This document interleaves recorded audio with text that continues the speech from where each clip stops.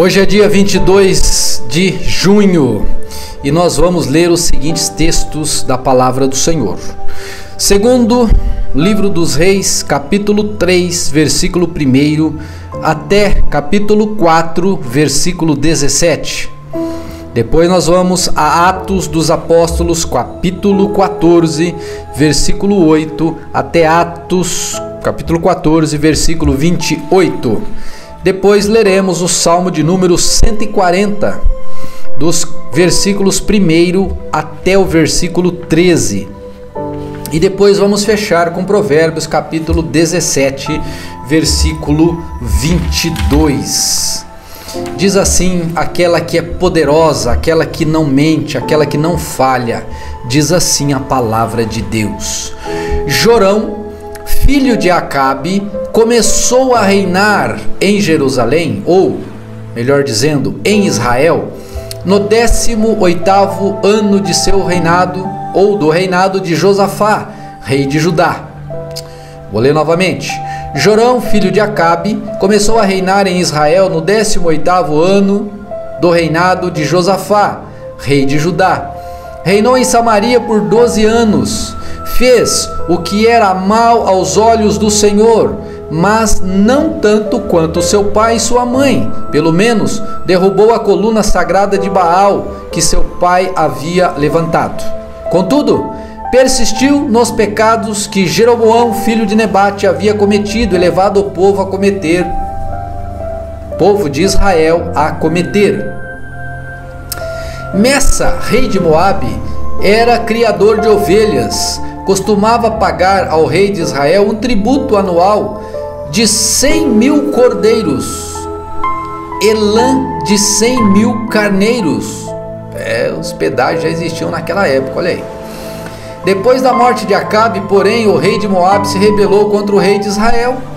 Então, sem demora, o rei Jorão partiu de Samaria e reuniu o exército de Israel. No caminho, enviou esta mensagem a Josafá, rei de Judá: O rei de Moab se rebelou contra mim você sairá comigo para batalhar contra ele? Opa. Josafá respondeu: Claro que sim. Meus soldados são seus soldados e meus cavalos são seus cavalos. E perguntou: Que caminho vamos tomar? Vamos atacar pelo deserto de Edom, respondeu o rei de Israel. O rei de Edom e seus soldados se uniram ao rei de Israel e ao rei de Judá. E os três exércitos seguiram pelo caminho. Depois que andaram sete dias pelo deserto, já não havia água para os homens e nem para os animais. O que vamos fazer? exclamou o rei de Israel. Será que o Senhor o trouxe? Será que o Senhor trouxe os três reis até aqui só para permitir que o rei de, Moabe nos derrote? Então Josafá perguntou: Não há aqui um profeta do Senhor? Se houver, podemos consultar o Senhor por meio dele. Um dos oficiais do rei de Israel respondeu: Eliseu, filho de Zafate, está aqui. Ele era ajudante de Elias. Sim, o Senhor fala por meio dele, disse Josafá. Então o rei de Israel, Josafá, o rei de Judá e o rei de Edom foram consultar Eliseu. Por que veio me procurar? perguntou Eliseu ao rei de Israel. Vá consultar os profetas idólatras de seu pai e de sua mãe. O rei de Israel, porém, disse: Vim procurá-lo, porque foi o Senhor que me chamou, ou o Senhor que chamou esses três reis só para entregá-los nas mãos do rei de Moabe. Eliseu respondeu: Tão certo como vive o Senhor dos exércitos a quem sirvo, eu não lhe daria atenção alguma se não fosse por respeito a Josafá, rei de Judá. Agora tragam-me alguém que saiba tocar harpa. Enquanto o músico tocava, a mão do Senhor veio sobre Eliseu, e ele disse: Assim diz o Senhor: Este vale seco se encherá de poços de água. Pois assim diz o Senhor: Vocês não verão vento nem chuva, mas o vale se encherá de água. Terão o suficiente para vocês e seus rebanhos e outros animais. E como se isso não bastasse, o Senhor ainda entregará o exército de Moabe em suas mãos. Vocês conquistarão as melhores cidades deles, até mesmo, até mesmo as fortificadas. Cortarão as árvores frutíferas, taparão todas as fontes e entulharão com pedras as terras de plantio. No dia seguinte, por volta da hora em que se oferecia o sacrifício da manhã, começou a aparecer água descendo desde Edom, e em pouco tempo havia água em toda parte. Enquanto isso, o povo de Moabe soube que os três exércitos marchavam contra eles, e todos os homens com idade suficiente para lutar foram convocados e se posicionaram ao longo da fronteira. Quando se levantaram na manhã seguinte, o sol brilhava sobre a água. Para os moabitas, ela parecia vermelha como sangue. É sangue! exclamaram. Os três exércitos atacaram uns aos outros e se mataram. Venham, povo de Moabe, vamos tomar os despojos. Mas, quando os moabitas chegaram ao acampamento de Israel, o exército israelita se levantou e os atacou, até que deram meia volta e fugiram. Os israelitas os perseguiram até Moabe, avançando pelo território e derrotando Moabe definitivamente. Arrasaram as cidades e entulharam com pedras as terras de plantio, taparam as fontes de água e cortaram as árvores frutíferas. Por fim, só restou Kir Haresete, com as suas muralhas de pedra, mas atiradores com fundas a cercaram e a atacaram. Quando o rei de Moabe percebeu que estava perdendo a batalha, liderou 700 homens com espadas numa tentativa de romper as linhas inimigas próximas do rei de Edom, mas fracassou. Então o rei de Moabe pegou seu filho mais velho, que devia sucedê-lo, e ofereceu como holocausto sobre o muro da cidade.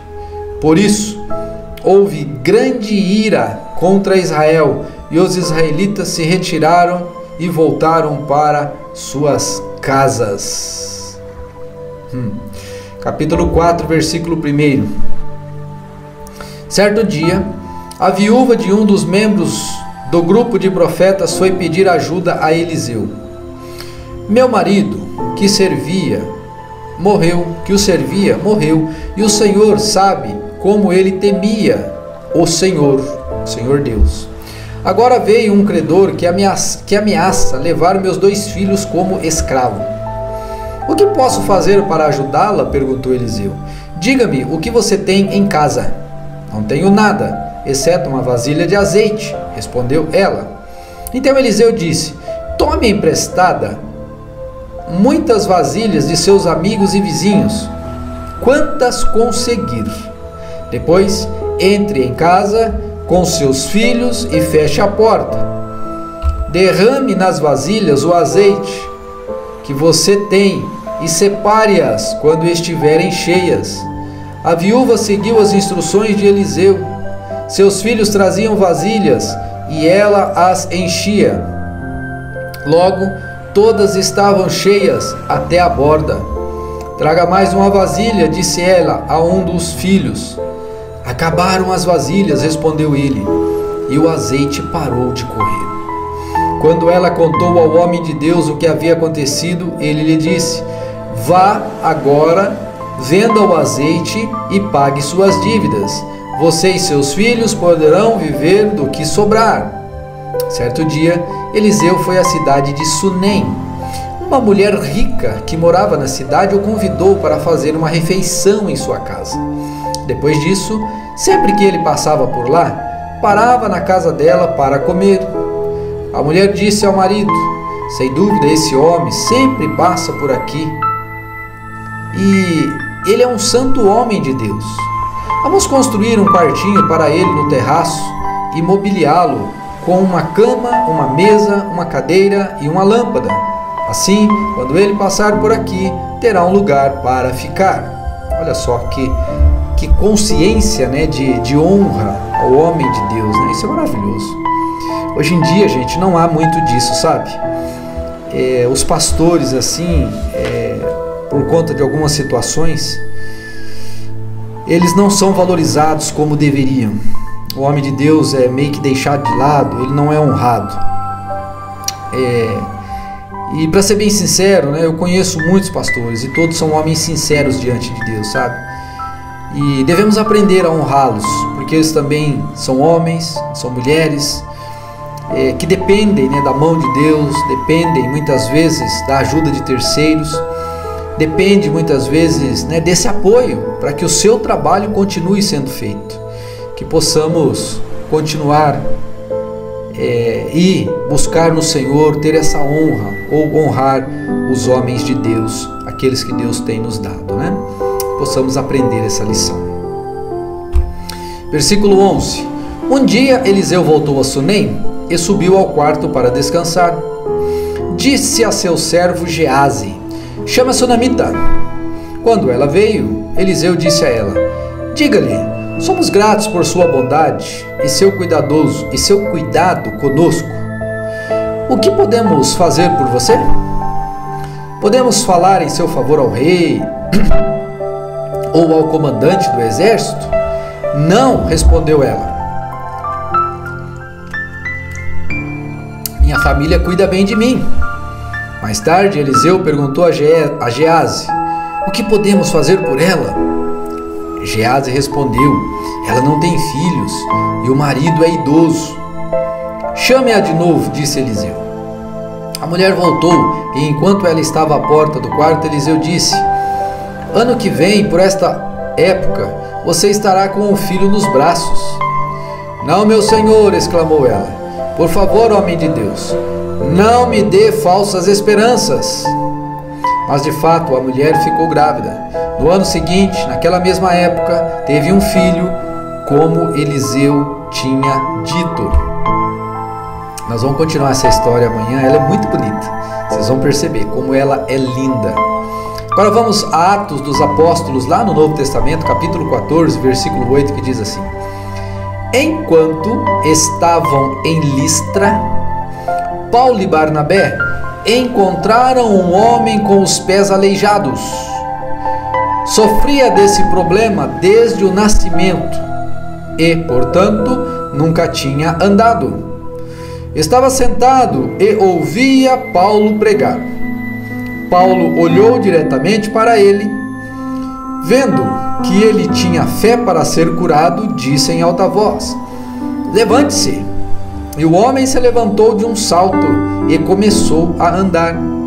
A multidão, vendo o que Paulo havia feito, gritou no dialeto local: Os deuses vieram até nós em forma de homens. Concluíram que Paulo e Barnabé era o deus grego Zeus e Paulo o deus Hermes pois era ele quem proclamava a mensagem. O sacerdote do templo de Zeus, que ficava na entrada da cidade, trouxe touros e coroas de flores até as portas da cidade, pois ele e a multidão queriam oferecer sacrifícios aos apóstolos. Quando Barnabé e Paulo ouviram o que estava acontecendo, rasgaram as roupas e correram para o meio do povo, gritando: Amigos, por que vocês estão fazendo isso? Somos homens como vocês. Viemos lhes anunciar as boas novas, para que abandonem essas coisas sem valor e se voltem para Deus, o Deus vivo, que fez os céus e a terra, o mar e tudo que neles há. No passado, ele permitiu que as nações seguissem seus próprios caminhos, mas nunca as deixou sem evidência de sua existência e de sua bondade ele lhes concede chuvas e boas colheitas, e também alimento e um coração alegre. Apesar dessas palavras, Paulo e Barnabé tiveram dificuldades para impedir o povo de lhes que lhes oferecessem sacrifícios.